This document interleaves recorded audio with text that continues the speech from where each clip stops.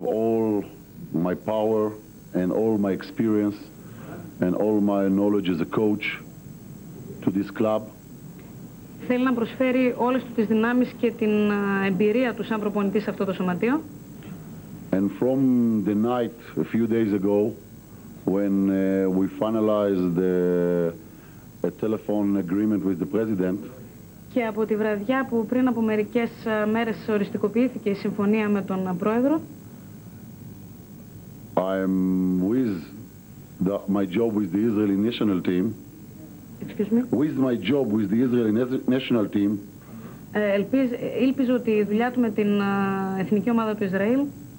I'm working uh, around every night and every day. Ε, δουλεύει σε σχέση με το σωματείο κάθε μέρα, κάθε βράδυ, ε, τριγύρω από παράλληλα τη δουλειά του που κάνει με την εθνική ομάδα. in this tough market that it's close to a jungle about recruiting and signing and uh, players. Όσον αφορά τον, τη μεταγραφική αγορά, η οποία είναι πάρα πολύ δύσκολη και μοιάζει περισσότερο με ζούγκλα.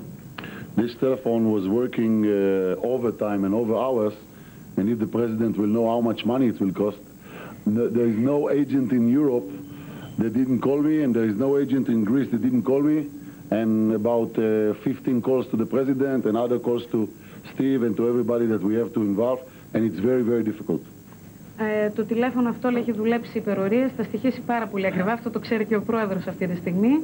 Ε, δεν υπάρχει μάνατζερ σε όλη την Ευρώπη, σε όλη την Ελλάδα που να μην του έχει τηλεφωνήσει. Ε, όλοι οι άνθρωποι οι οποίοι θα αναμειχθούν σε αυτή την ε, ιστορία γνωρίζουν πόσο, δύσκολο θα, πόσο δύσκολη θα είναι η δουλειά. Αυτά λοιπόν από τον Έτυχε χθες ο Πάοκ